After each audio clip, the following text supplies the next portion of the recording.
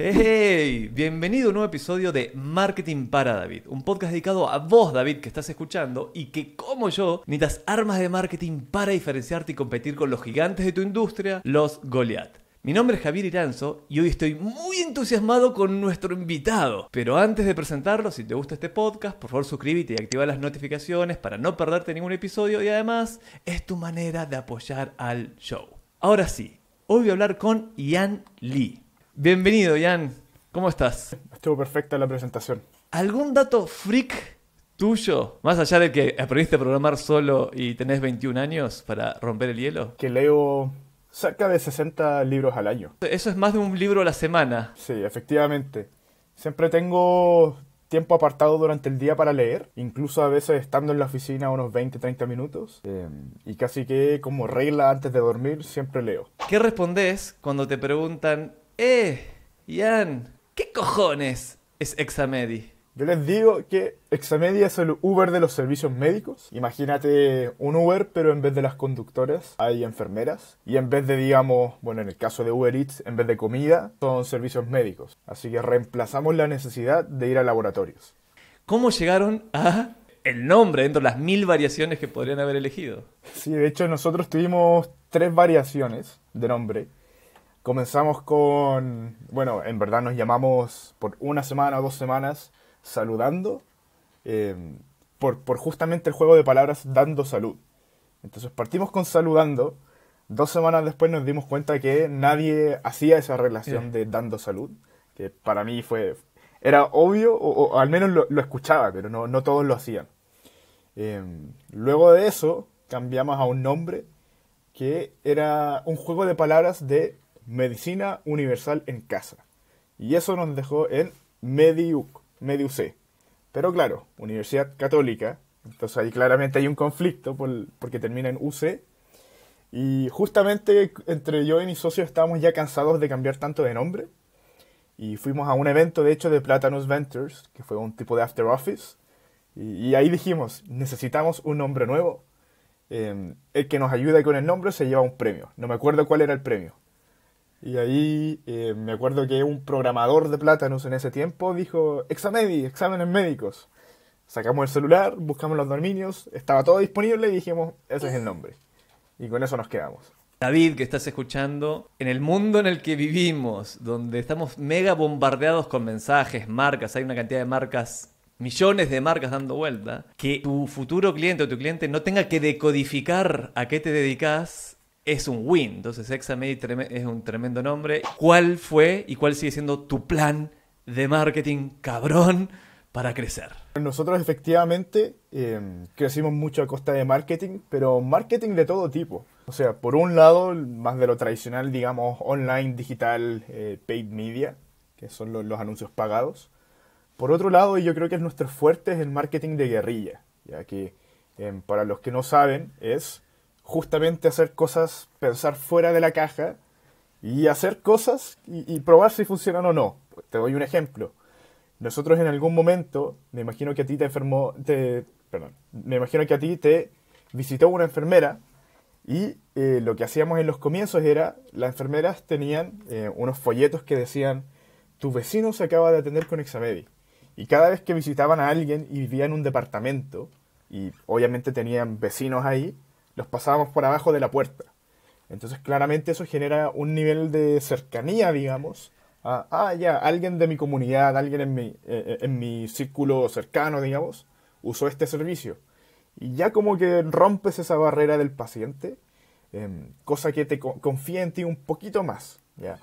Eh, y obviamente que, eh, bueno, hemos hecho mil proyectos más, pero justamente solo un ejemplo. Se juntan en la oficina, ¿cómo, ¿Cómo hacen el brainstorming? Eh, la verdad es que el equipo como tal funciona de, tal forma que todos pueden proponer ideas. Sí te diría que en un comienzo, efectivamente, mucho de mi rol era pensar cómo podemos tener un paciente más hoy. Entonces, claramente, mi, mi rol día a día era pensar en estas ideas, pero todos del, del equipo aportaban. Hoy en día ya tenemos un equipo de growth, que justamente es este tipo de marketing mucho más ligado a la experiencia del producto.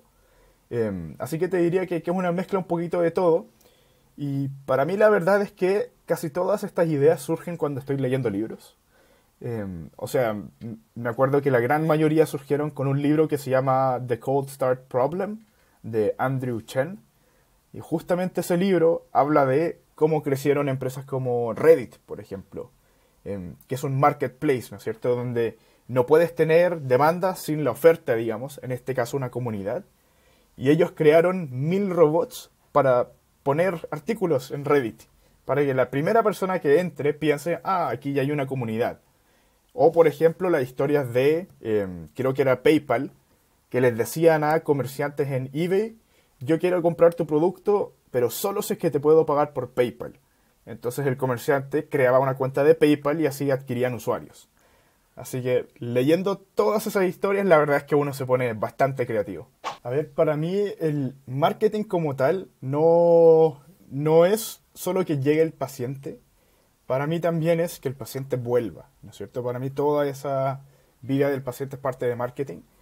Entonces la verdad es que lo que hacemos también es que una vez que visitamos al paciente, eh, de repente hacemos este experimento de eh, dejarle, por ejemplo, un gift card, porque no sé, si tú te haces un examen de sangre, claramente tienes hambre porque tienes un ayuno. Entonces la enfermera te deja un gift card. Y eso provoca una sensación de este wow factor en nuestros pacientes, cosa que eh, los mismos pacientes nos empiezan a recomendar a otras personas. Nosotros hoy en día tenemos un NPS, un Net Promoter Score, que es este indicador de, en el fondo, qué tanto las personas te recomiendan, de 92. Em, cosa que en la industria de salud nadie más tiene em, ese, digamos, ese rating. Así que para nosotros mucho de lo que es marketing se divide en adquisición, que justamente son estas ideas creativas, paid media, pero también un plan de em, asegurarnos de que el servicio en la casa sea muy, muy bueno y luego un plan de marketing de seguimiento a la persona. ¿ya? Em, a veces hay ciertas maneras en las que los pacientes interactúan con Examedi que pueden ir generando como esta, digamos, esta lógica de correos, de como retargeting de correos, pero con contenido valioso. ¿ya? Entonces, le damos contenido de salud, de repente incluso le damos contenidos de qué está pasando en el mundo a nivel de salud. Em, así que nuestro plan de marketing involucra mucho que constantemente estén viendo el logo de Examedi. Todos creemos que creamos contenido valioso. En tus palabras, ¿qué es ese valor? Para mí el valor del contenido valioso, em, creo que quizás porque estamos en Chile principalmente, es un poquito más fácil definirlo, Em, es simplificar el contenido que ya existe, pero que, por ejemplo, cuando yo lo leo o cuando personas de Examedi lo leen, no hacen mucho sentido. Por decirte algo, hoy en día en Estados Unidos, o a veces incluso acá, si tú buscas dolor de cabeza en Google, aparece eh, la respuesta, digamos, el artículo de Clínica Mayo, que está allá por Cleveland, creo, en Estados Unidos. Cosa que obviamente no tiene nada que ver, porque yo estoy en Chile buscando dolor de cabeza en Chile, pero ellos lo explican de una manera bastante simple, pero tampoco rescatan como eh, la escritura, digamos, o la cultura del, del país, ¿no es cierto? Entonces es un lenguaje muy, muy técnico. Así que el contenido valioso, en mi punto de vista, que estamos generando es, tenemos un plan justamente de que nosotros seamos la primera respuesta a todas las preguntas de salud que estás buscando, totalmente gratis, y si es que llegaras a necesitar un servicio, ahí es donde los pacientes contratarían examen. No tengas miedo a comenzar. O sea, em, justamente estamos hablando de este concepto del MVP, el producto mínimo viable. Em, y la verdad es que nunca hay un momento en el que te vas a sentir em, que tu producto está suficientemente bueno para mostrarlo. Me imagino que lo mismo con campañas de marketing. No existen campañas perfectas. Uno siempre tiene que ir iterando, mejorando, eh, cambiando la segmentación de a poco, los presupuestos. así que mi consejo más grande sería comenzar ir probando. ¿Qué cagazo o cagazos, puede ser en plural, o fuck te has mandado? Sí. A ver, yo diría uno fue durante la apertura de México, porque la verdad es que Chile y México son monstruos muy distintos. asumir que porque una campaña funcionó, va a funcionar en todos lados, creo que eso es una... Em, quizás suena muy obvio, pero bastante difícil de realmente entender, em, simplemente por, por temas de cultura. Lo otro que te diría es que eh, a medida que las personas van justamente creando este plan de marketing, siempre tienen que pensar en lo que es online y offline. Yo creo que uno de eh, nuestros errores más grandes en el comienzo fue que de todas maneras, en proporción, dependíamos mucho del online. Y uno ya llega a un cierto techo en el que simplemente no puedes seguir eh, metiéndole más billetes, digamos, a Google y Facebook. Tienes que buscar otras maneras de adquirir a tus usuarios. Así que diría que desde un comienzo ser conscientes de eso. Eh, a nosotros nos faltó un poquito pensar fuera de marketing pagado, pero ya hoy en día por suerte tenemos esa cultura de probar muchos canales de adquisición. Eh, cada vez que se haga publicidad offline, esto ya es cambiando un poquito el tema del consejo, em, no necesariamente uno puede medir el impacto de ese proyecto. Obviamente, por ejemplo, si pones un cartel. Pero sí diría que es muy, muy importante que te cuestiones qué quieres lograr. O sea, las metas subjetivas de poner un cartel al lado de la carretera, por ejemplo. Em, entonces creo que a veces muchos equipos dicen, quiero poner esto porque tiene visibilidad. Pero no, la verdad es que tiene que haber un fundamento un poquito más desarrollado que eso aunque no sea cuantitativo, puede ser netamente cualitativo, pero es muy importante cuestionarlo y de esa manera yo creo que muchos equipos se ahorrarían dinero porque van descartando proyectos que realmente no tienen tanto impacto o quizás no pueden tener tanto impacto. Canal de marketing favorito de todo lo que mencionaste, igual medio obvia la respuesta, pero vamos a ver si la repetís, para conseguir pacientes. Sí. Em, bueno, la, voy a partir por la obvia y después por la segunda, quizás, para, ser más dinámico. La obvia es el offline, o sea, lejos el offline, em, generar como esa viralidad, digamos, en las personas. Em, por darte un ejemplo, e, esto yo lo aprendí porque me di cuenta que Airbnb, una empresa tan grande, 70% de las ventas de Airbnb vienen por un canal orgánico. Y cuando yo me di cuenta de eso, era como, ahí está la razón por la que esta empresa es tan grande no dependen de marketing y el producto puede seguir creciendo. La segunda más obvia, te diría que, bueno, en verdad es Instagram. Eh, depende del producto también, pero siento que hoy en día muchas personas, y me incluyo, eh, tenemos horas del día simplemente bajando por Instagram. Entonces creo que es una manera directa de como entrar en el subconsciente de las personas.